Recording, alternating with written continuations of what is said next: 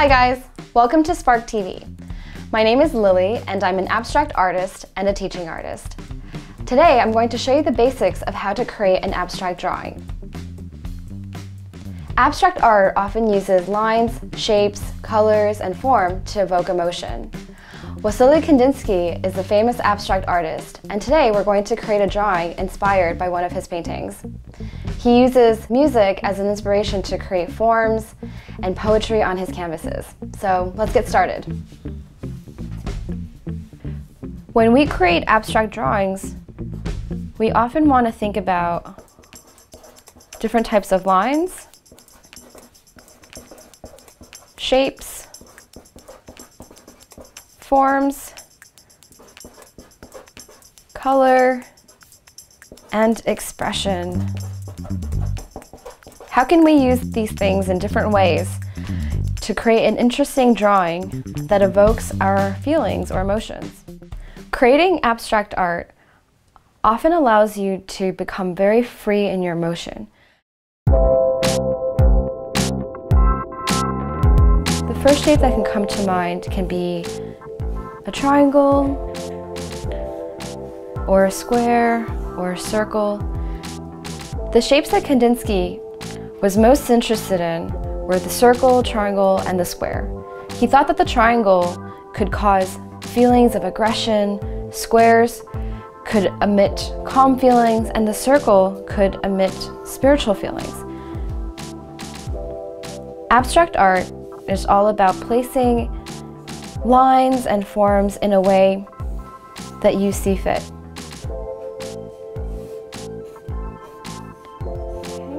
So I'm going to first start by sketching a few ideas.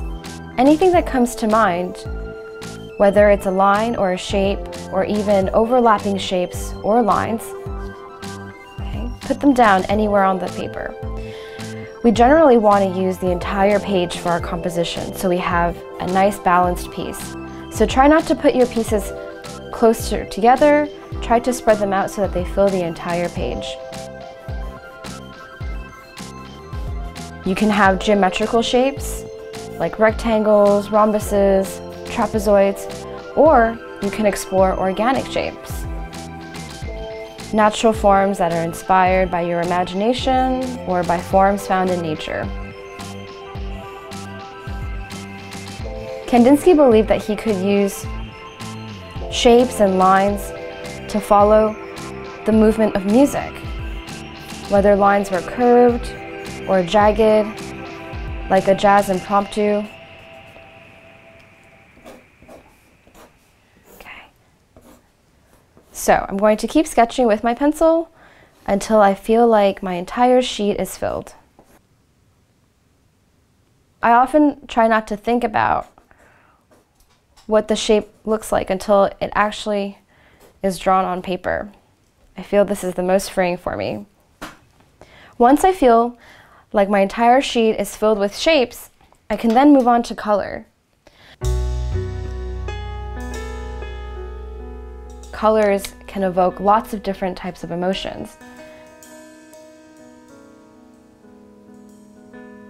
You can outline shapes, or you can use color to fill shapes.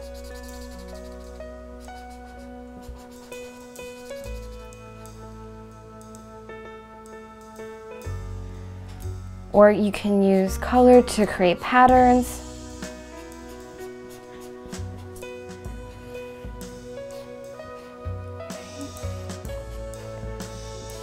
There are no rules to what you can or cannot do.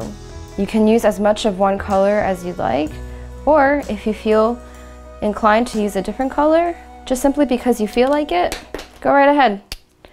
Don't be afraid to mix and match colors, or even overlap colors. When it comes to creating abstract art, there are just simply no rules.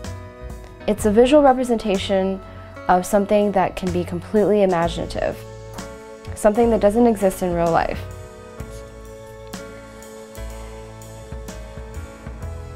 Different colors can evoke different types of emotions. Green or blues sometimes make us feel calm, whereas red or orange can make us feel angry. Color is a powerful tool when we're making abstract art.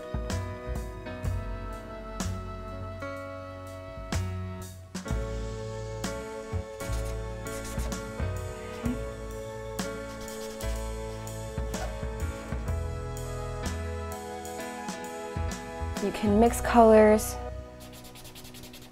You can see what happens when you put a different color next to another.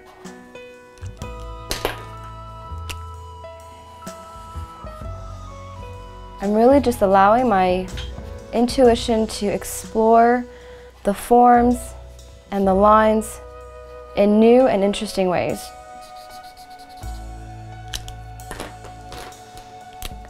And because I'm using markers, I can create thin lines or thicker lines and see what type of feeling those forms emit.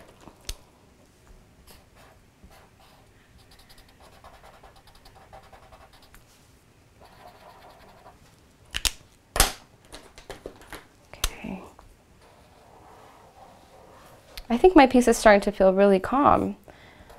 I'm using lots of greens and blues and lighter colors. You'll be surprised how the final piece ends up.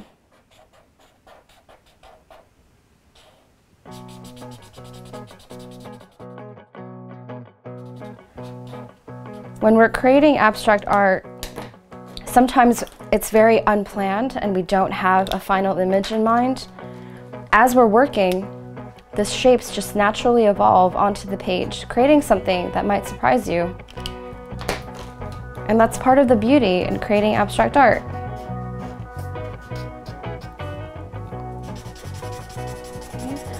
You can explore different ways to color and fill your shapes. Maybe sometimes they're outside the box because that creates a different type of feeling. Push yourself to do something that might even feel uncomfortable.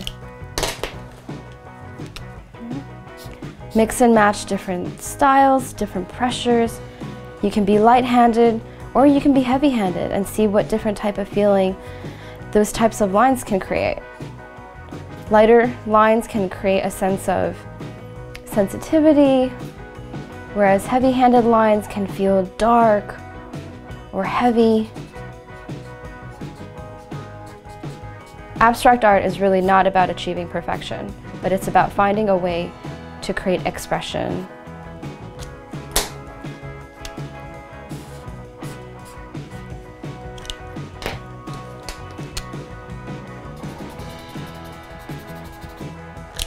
Can I overlap colors?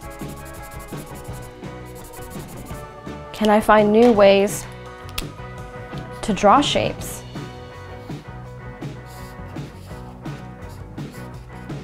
Can I mix and match and overlap outlines? Or forms on top of each other?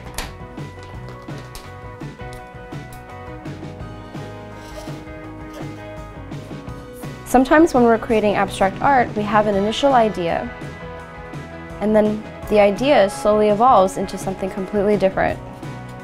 This is often the nature of abstract art.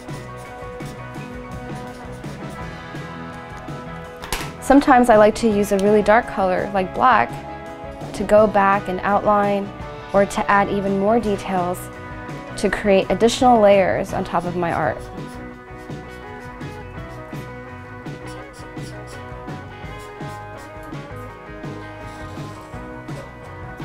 As the artist, you can decide when the piece is finished.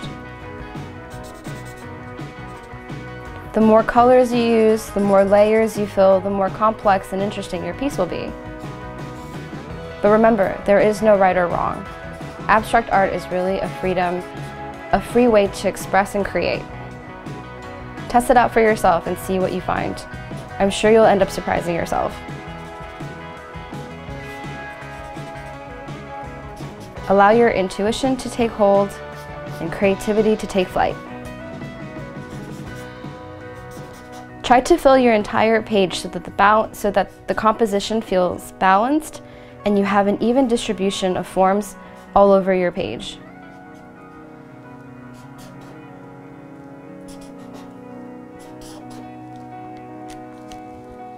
That feels pretty good to me. I think I'm gonna stop right there.